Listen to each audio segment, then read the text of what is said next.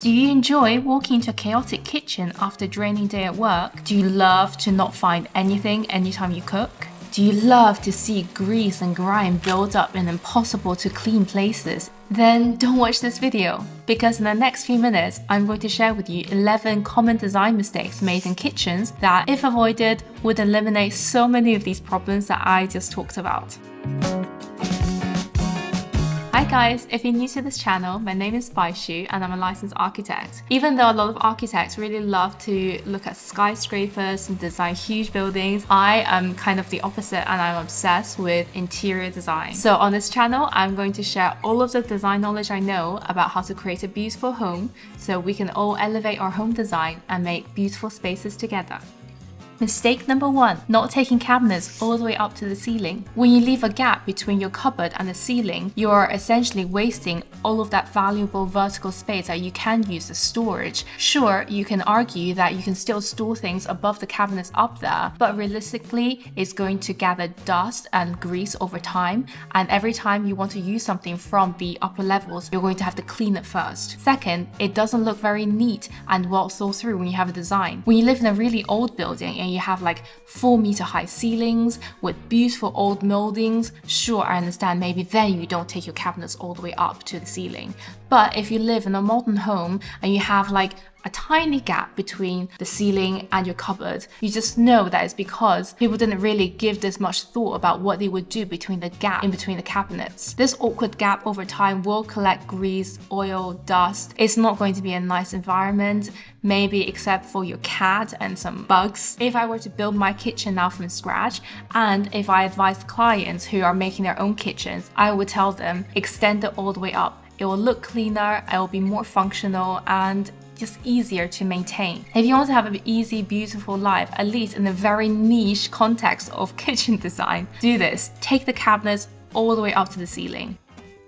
This one is a bit controversial because it's super popular. Open plan kitchens. Please don't unsubscribe and don't click away yet. Let me explain. Open plan kitchens are super popular, but I think they're problematic for two reasons. So first is that it's just not suitable for all cooking. Sure, if you are someone who makes a lot of salads and you bake and use the oven a lot, and maybe having an open plan kitchen is not such a problem. But if you are someone who, for example, is Asian and enjoys Asian food, where the cooking involves a lot of frying at high temperature with strong heat, a lot of oil, strong smells, an open plan kitchen is not suitable. The smell of stir fried garlic and fish will just spread into your living room and the rest of your home. Second, in an open plan kitchen, the mess and the operational side of cooking are exposed for everyone, yourself, your family, potential guests to see. Imagine that you invite people over for a dinner party. Dirty dishes, food scraps, you name it, they see it. The beauty of a separate kitchen is that you can just close the door on all the mess and all the smell. So when your guests are eating at the dining table, they are not disturbed by all the chaos. If you like the idea of having an open plan kitchen dining space because you want people to be able to see each other while you're all in this living environment, there are quite creative compromises you can make. You can have a semi-open kitchen layout where the kitchen is visually accessible but not fully open, so you can just close some sliding doors over the opening when you want to hide the smell, or you can install like glass crystal doors or something so you can still see what's going on behind the kitchen, but maybe the smell is kind of hidden. And in front of the crystal doors, you can also install some curtains,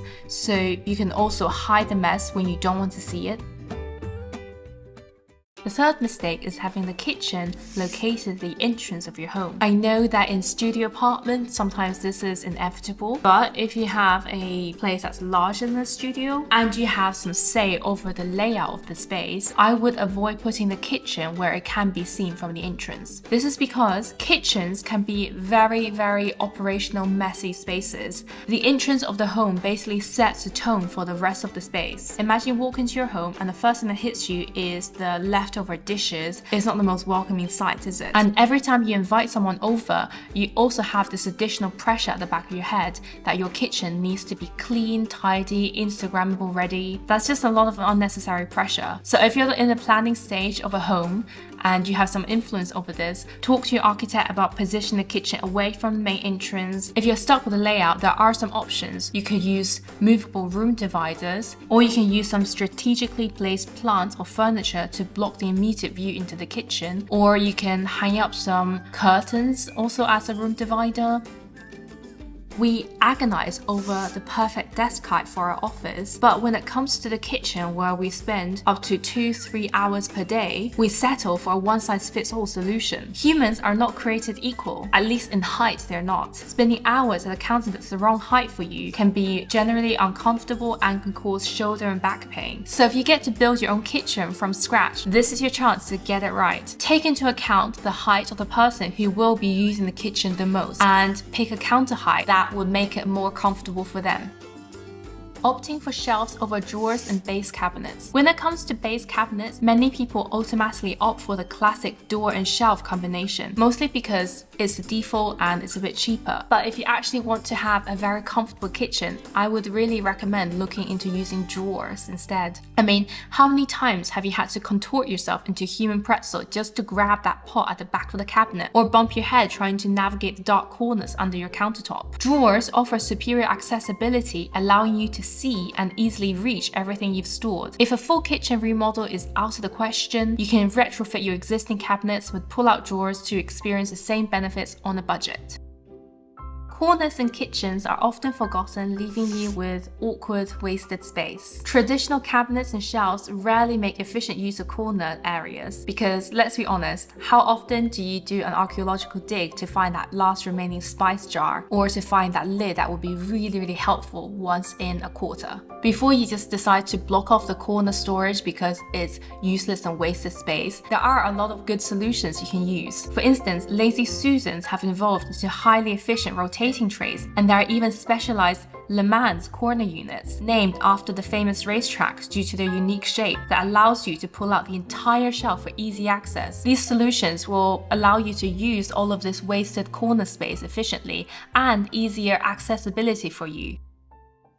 Open shelves above kitchen countertops are all the rage right now. They're basically on 90% of Pinterest kitchens that I see. Yes, they look good, but I think that's a design mistake. Not everyone collects artisanal mason jars or cafe-worthy, display-worthy coffee mugs. Open shelves just become a catch-all for all sorts of clutter you have around you, not to mention the dust and the grease that might collect over time. So if you love the look of open shelves, maybe you can do a compromise and use glass-fronted cabinets instead instead. This way your items are still protected, but you can still have them beautifully displayed. Or don't go for a kitchen where the entire thing is just open shelf on the upper side maybe only pick 20 to 40% of it and make sure the open shelf is located in a zone that's away from the hob. Currently, I have a problem where I have a shelf that's above my hob and honestly, if it doesn't get cleaned once a week, it's just going to be really, really disgusting. Or only install open shelves in places where you think you don't really need that much storage. For example, I have a secondary kitchen where it's basically a coffee and tea station and I know that there's not going to be any oil, grease cooking in this area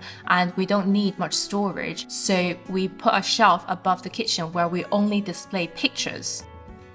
Mistake number 8. Ignoring the kitchen working triangle. It basically arranges the three main work areas in the kitchen, which is the sink, hob, and fridge, to create a functional and efficient space. And by placing these zones in a triangle, a lot of time and effort can be saved because it is just the most efficient way for people to move around the kitchen. Saves you from doing a marathon every time you cook, you know? Although, I, I could use the extra exercise. Mm. So kitchen design experts agree that each leg of the triangle should be between 1.2 and 2.7 meters, and the sum of all three sides should not exceed 8 meters. These are the ideal measurements, but take it with a grain of salt and you can just use it as a general guideline because we all know that some rooms can be super awkward. And not everyone can arrange the appliances in this perfect configuration. But now that we know, at least we can try.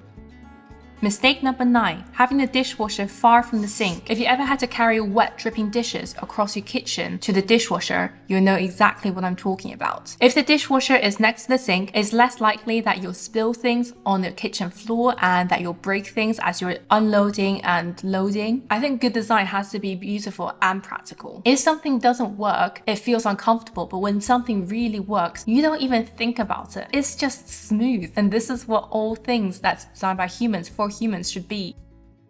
Mistake 10. Installing a sink or hob in the kitchen island. Islands serve as a social hub of the kitchen, a place where people naturally gather around, whether you are cooking or just having people around for cocktails. But if you start putting a hob or a sink in the kitchen island, you're compromising on the flexibility of this space because suddenly you're taking away this beautiful, huge surface for a function that is quite messy and requires a lot of cleaning up. There's going to be grease, oil, boiling sauce, and the openness of an island means that splatter can go in multiple directions. Also, when you have a hob, you need some sort of ventilation hood. And if you have one of these traditional huge ventilation hoods that's installed in the ceiling above the hob, you're putting in a visual obstruction right in the middle of the room. And if you have a sink, there'll normally be like, I don't know, water splashing everywhere as you're washing stuff, or just dirty dishes and cups piled in the sink. So if I ever get a chance to remodel my kitchen and create a big, beautiful island, I would leave it empty. And if any clients come to me now and say, I want to design a kitchen with a big, beautiful island, I would recommend them not put a hob or a sink in there. However, if you already have a sink in the island, you could do something about it. For example, you can put a temporary sink sink cover in the sink so when it's not in use and then you have one flush surface. And if you actually must have a hob or a stove in your kitchen island and you haven't yet installed something for ventilation, I would go for a retractable or pop-up vent. This means you can have ventilation when you need it and flat counter space when you don't. Plus, you don't have this massive ugly ventilation hood that's right up there in the ceiling. Poorly planned lighting. Bad lighting isn't just a prettiness issue. In a room where you're handling very sharp knives and hot, hot objects, it's also a safety concern. Kitchens are multifunctional spaces, so the lighting should be too. We should all make sure that our kitchen at least have downlights for general illumination so the whole space can be lit up and we can see everything. We should also have task lighting so these can be like strip lights underneath a shelf or the cabinets so you can switch them on while you're on the counter prepping. I think having some sort of lighting in front of you is very important because when you only have light source behind you, it casts a very annoying shadow on the space that's in front of you, which is not great for when you want to see clearly. Like when you're handling a knife super close to your fingers. If you have family and friends who are thinking of renovating their kitchen, feel free to send this video to them. And if there's anything you disagree with or you think I've missed out, please write in the comments and we can all expand our design knowledge together. If this video was interesting for you, you might want to check out my design video about bathrooms too. Thank you for watching. See you next week. Bye.